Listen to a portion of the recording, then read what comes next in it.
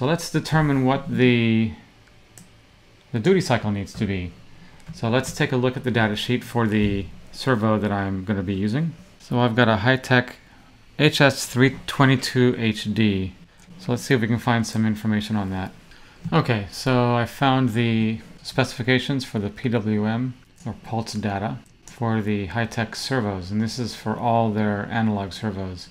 And the duty cycle needs to be between 0.9 milliseconds to 2.1 milliseconds, with 1.5, which is right in the middle of the 0.9 and 2.1, as the center. And the pulse refreshes every 20 milliseconds. We've already established this. So now we need to create the duty cycle between 0.9 and 2.1 milliseconds. So if 40,000 represents 20 milliseconds, 1 millisecond should be 40,000 divided by 20. So let's see what that is. So the low end of the duty cycle is, two, is 0.9 milliseconds. And with our 2000 counts per millisecond, that would be 0.9 times 2000, which is equal to 1800 millisecond or 1800 counts. That would equal the low end duty cycle. I'll put this on another line here. And 2.1 milliseconds is equal to 2.1 times 2000, which is equal to 4200.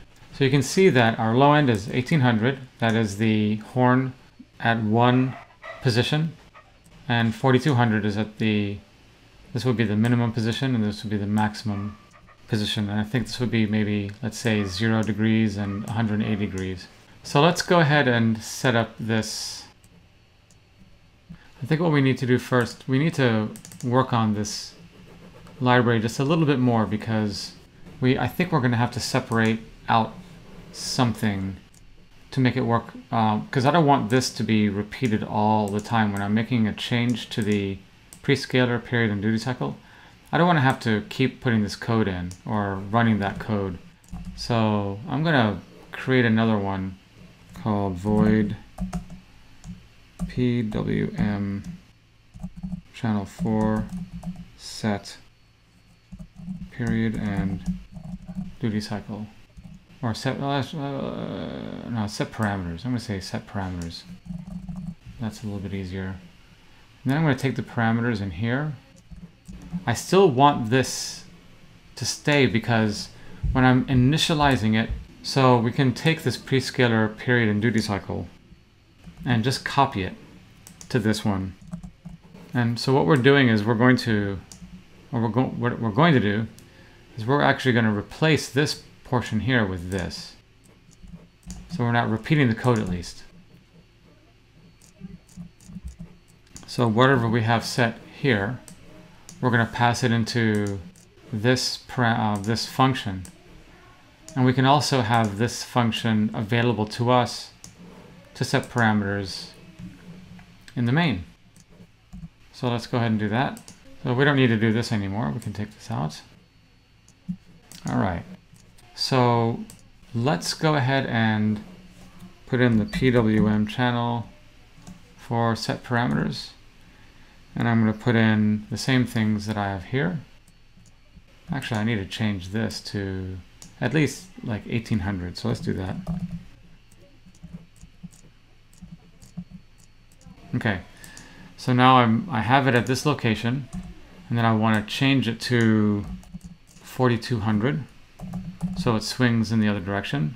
But it's going to do this so fast that the the servo is not even going to move because, or it may jitter, because it's trying to change the um, it's trying to change the location too quickly. So we need to put a, a time delay right here. So let's make it 100,000. It may not, that may not be enough. So let's go ahead and put 100,000 between them. So we should have the, the servo turning from 0 degrees to 180 degrees and back. So it's just going to go back and forth. Let's see if that works. First we need to connect the servo. So we'll need a 5 volt connection at the red. We'll need a ground at the black. And at the yellow we can have our PWM. I don't think the yellow needs to have 5 volts as its pulse. I believe I remember seeing in the data sheet that it can be um, it can be 3 volts. I think it was like 3 to 5 volts. So let's go ahead and try that. We'll, we'll put the signal in on the PWM here, 5 volts in the middle pin and ground on the end. Before I actually connect the servo, I want to build and flash this microcontroller first, just so it can be in the right state, so I don't cause the servo to go to any extremes. And it looks like I have a, okay, I'm not even using my variable, unused variable. I'll just take it out and re recompile it just for the fun. Something else.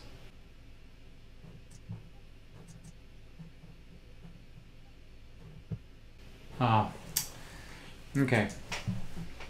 I see the problem here. The I put this function after I actually am using it.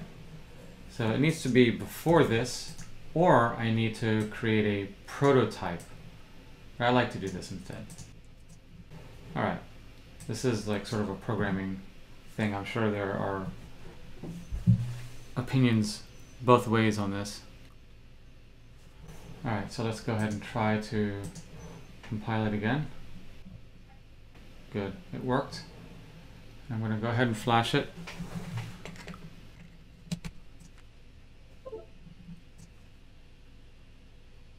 Okay, so the microcontroller is flashed. Let's go ahead and connect the servo.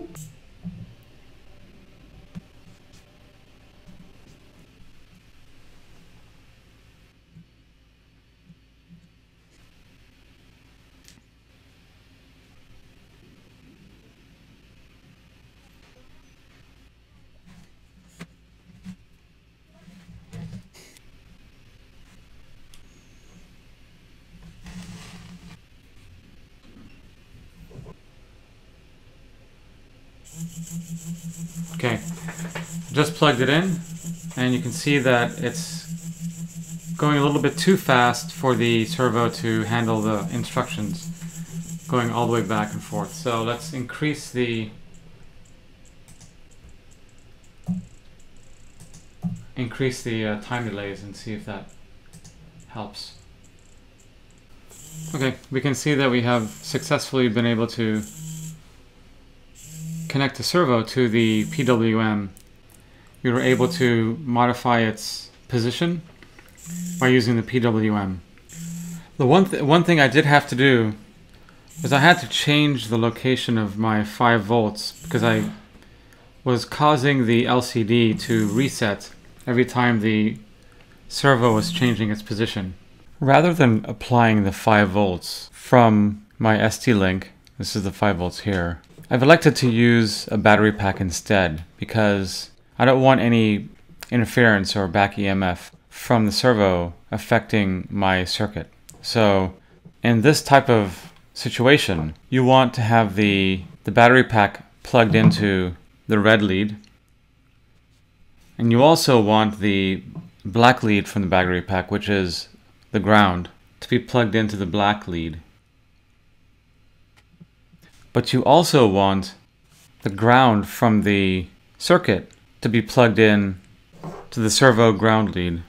I'm actually having a difficult time getting the both of these wires into this small connector so it's just as good to put the ground from the battery pack into a ground on the circuit and then you can take the pin from the PWM and put that into the yellow lead of the servo. And that way you'll have a voltage source that's external from the circuit and the the servo will not interfere with the the circuit in any way and you won't have any problems with with the LCD because if you did try to use the 5 volts from the circuit the LCD may not function correctly. And as you can see with the external battery pack and the flashed microcontroller, we have a functioning circuit and the external voltage source is actually what's recommended from the manufacturer of the servo. It's, they recommend using battery cells to power the servo. I've given you a tiny bit of knowledge. Because I'm doing this for peanuts, you can show your support by clicking the like button. Go ahead. You can do it. Click it. Go ahead. And also by subscribing and clicking on the notifications. Oh look, I've made it to 1.1 million. Oh no, that's not me. Oh yeah, and go to my channel, where you can find all of the playlists